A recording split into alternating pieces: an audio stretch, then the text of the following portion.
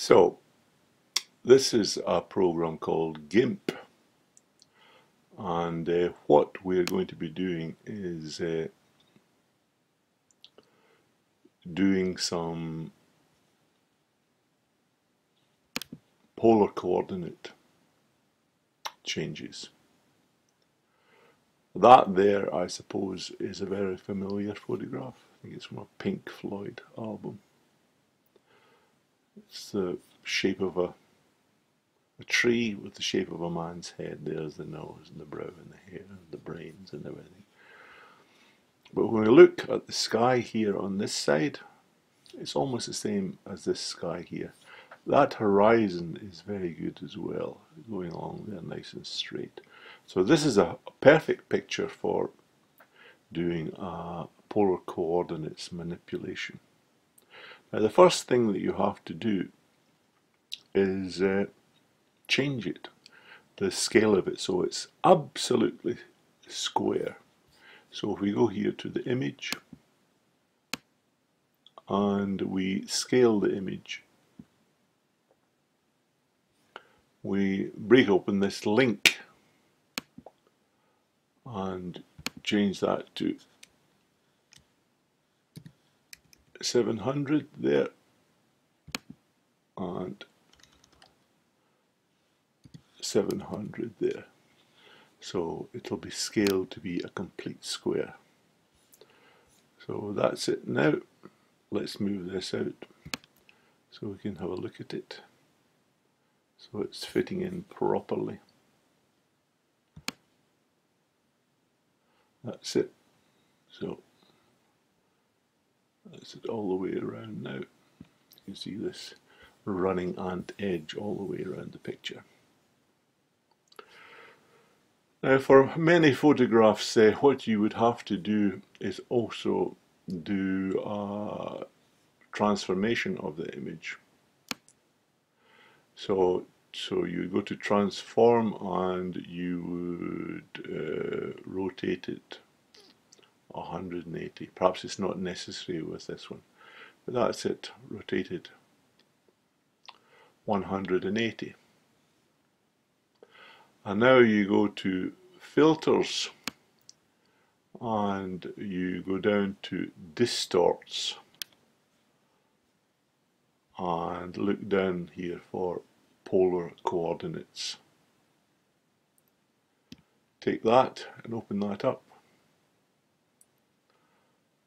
and you can see here this is what the photo now becomes. It becomes, it's called a planet a little island there and then the tree on sitting on the island. And there's still a line running through it. You can still see it but you have to use the smudge tool to get rid of it. So let's to move on quickly.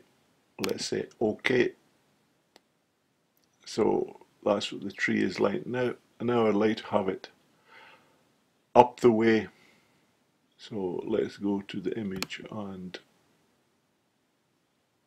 uh, transform it and let's rotate 180 that way.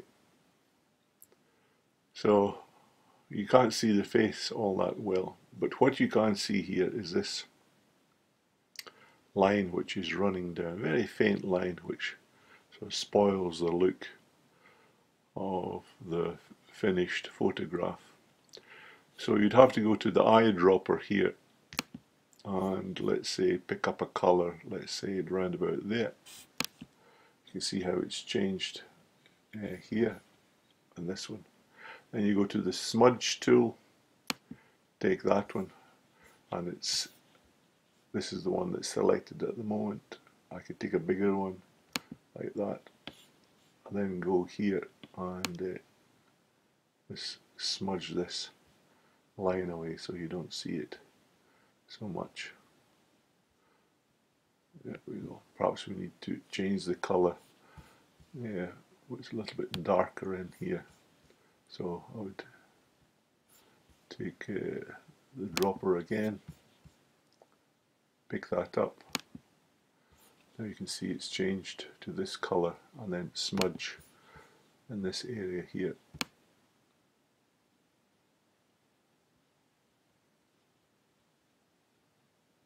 So, but you could spend a lot more time with it. But uh, you can see what's happening. And then there's these lines here which are not all that good. Uh, let's pick up this one.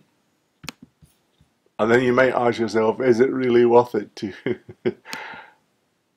to do all this? That's a little bit darker and smudge that because there's still a discrete line there.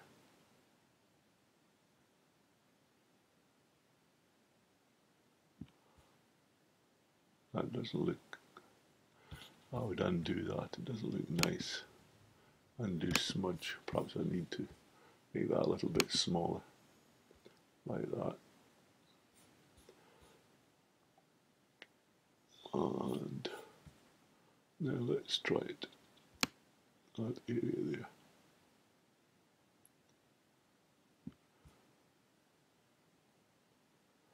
And perhaps this green area you can see it's running into the blue, which is not good. There's a sharp line there, so if I made the green go round here, that might be a solution. So let's go to the eyedrop again, pick that up, and then take this in there. Now you can see it's this sort of dark green colour there. And then back to the smudge tool and it'll smudge this blue away like that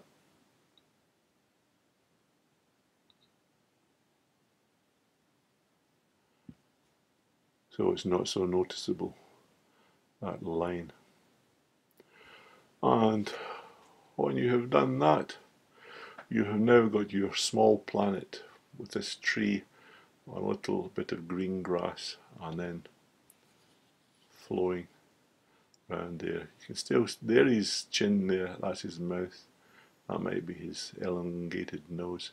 and his head is going over there and around here. So then you would go here and uh, export it, export it as polar head or something like that. Tree head. P O L A R and JPEG and export.